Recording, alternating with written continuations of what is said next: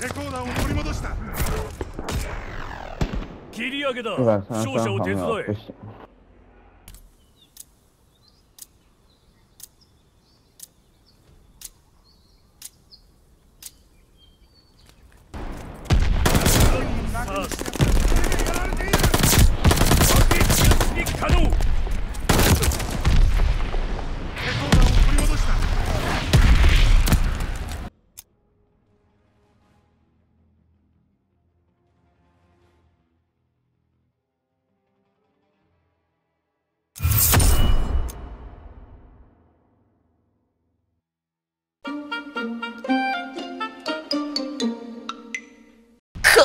オブデューティーコミュニティキンキンに冷えてやがる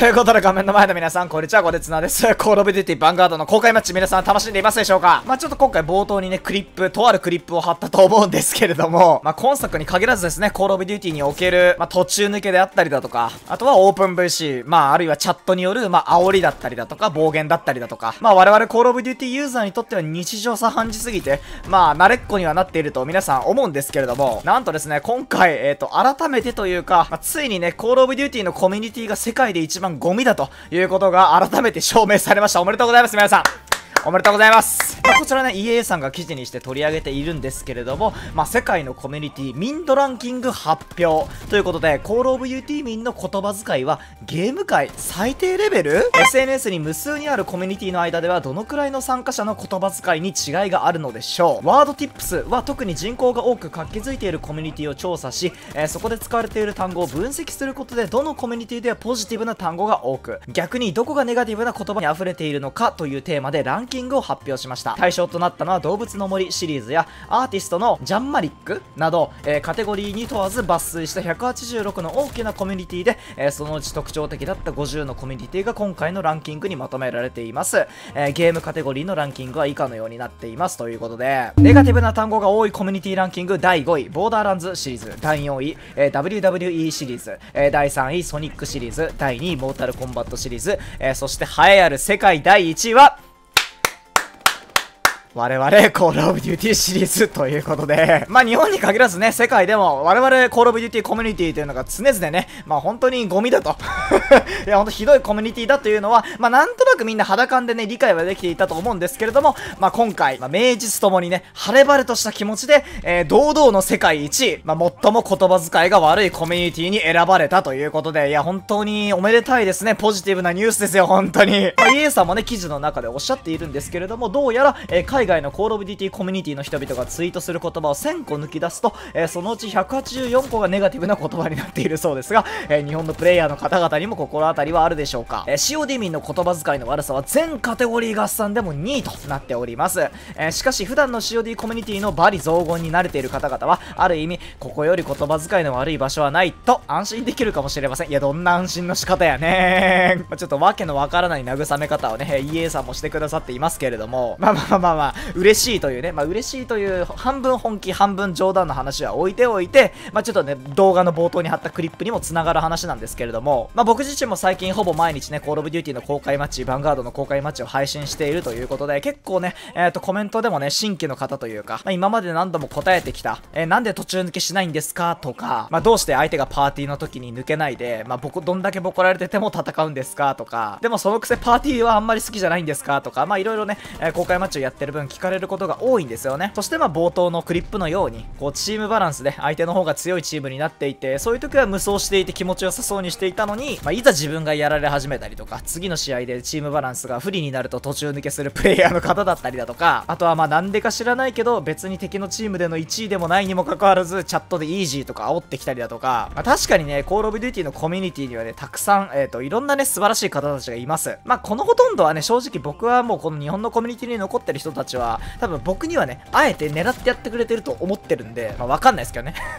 わかんないですけど、僕の中ではもうプロレスに近い感覚というか、まあむしろこれだけ正直な話、人口が少なくなってしまったコミュニティにおいて、まあこうやって僕のことを認知して、えーいじってくれるというか、まあありがたい話だなと、まあ僕はね、あくまで僕は活動者なんで、そういう風に思って、えー捉えてるんですけど、まあただね、一般のユーザーの方というか、普通にこのゲームをプレイしている方、別に活動とかせずに、ただただ、えっ、と、普通に休日の息抜きとかにプレイレイしている方たちからすると、まあ、敵味方問わず途中抜けだったりだとか、まあ、パーティーを組んで強い武器を使ってめちゃめちゃ無双してリサーメしてるようなパーティーだったりだとか、まあ、あるいはチャットオープン VC で煽ってくる人とかって、まあ、正直ね、ムカつくと思うんですよ。一般のユーザーの方からしたら。で、まあ、それが実際正しいことかと言われたら、僕も正しいことではないと思います。うん。ただ、まあ、なんだろうな。結局俺はなんかもう最近思うのは、まあ、このゲームが悪いんだよなっていう風に思ってるんですよね。罪を憎んで人を憎まずとはまたこれちょっと違うんですけれども、ただまあ、ゲームのシステムがもうそれができるシステムになっちゃってる以上しょうがないというか、だって0.1秒で途中抜けできるんですもん、このゲーム。まあ僕がね、この活動を始めてから、コデスナとして活動を始めてから途中抜けをしてない理由は、まあ途中抜けしてしまうと僕が抜けたところに誰かが入ってきて嫌な思いをする可能性があるっていうところで僕は今まで途中抜けをね、基本的にはしてこなかったんですけど、まあただとはいえ、この活動を始めて IW からなんでもう5年6年経ってますけども、コールオブデューティってずーっとその途中抜けのシステムに対して改良を加えてないんですよ。放置なんですよね。ずっと。もう途中抜けはいつでもできるし、誰だってしていいし、何のペナルティもない。で、まあこれは暴言だったりだとか、煽りのチャットにも共通なことが言えますよね。別に言ったところで、えー何もペナルティがあるわけでもないし、こう垢バンとかの制裁を食らうわけでもない。要はもうこのゲーム自体がそこに対して、こうなんだろうな、抑える気がないというか、もう容認してしまってるんですよね、言ってしまえば。どうにかしてこう、より良い環境を作っていこうっていう意思がもう運営開発側にないんですよ、正直。まあ一応現状の対策としては、えっと、ランクプレイですかね。まあ縛りモード、e スポーツモードにさえ行けば、まあ途中抜けは一応ペナルティもありますし、まあお互いがほぼイーブンな条件で戦うことができる。まあなんでそういう途中抜けとか、あとはパーティーと戦って、で暴言がどうとか、そういうのがいろいろ気になるやつはもうとりあえずランク行けよみたいな。まあ発売から数ヶ月経って追加されたモードとはいえ、まあとりあえずそれが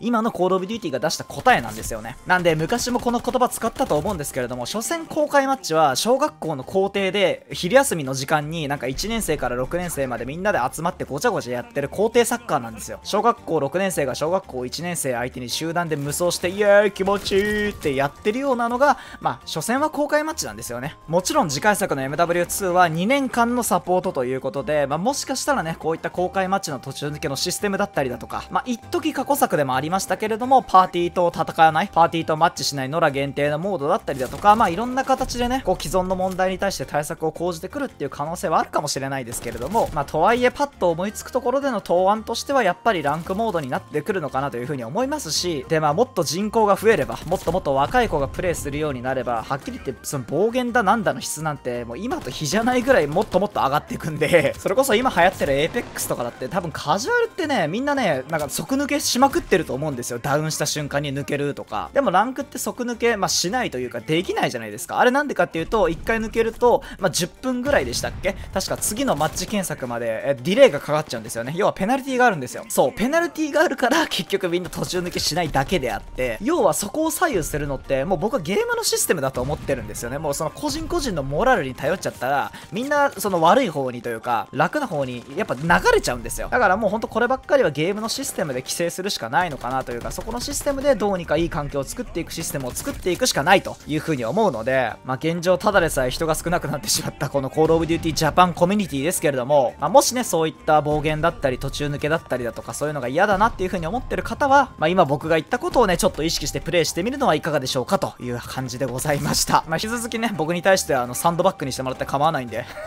あのみんなのストレスのはけ口になるのが、まあ俺の活動者としての役目なのかなと思ってるんで、もはや。まあ、次回作でもっともっと僕はなんならね、そういう暴言だったりだとか、えー生きってるパーティーだったりだとかが本当に心の底からマジで増えてほしいと思ってるんで、で、それがやっぱり、まあある意味では作品が盛り上がってるっていうことなんで、まあ今そういう問題にちょっと苦労してる、メンタル面で苦労してるなっていう方は、ぜひ次回作に備えてね、自分なりの向き合い方というか、自分なりの心の持ちよう答えっていうのを見つけていただけたらなというふうに思います。まあということで改めて世界で一番凶悪なコミュニティ、世界で一番、えーゴミのコミュニティに選ばれた皆さん、いかがでしょうか、えーよかったらね、今の皆さんの素直な感想を聞かせていただけたらなというふうに思います。ということでまた次回の動画でお会いいたしましょう。これつなでした。お疲れ様です。おーつーぽん。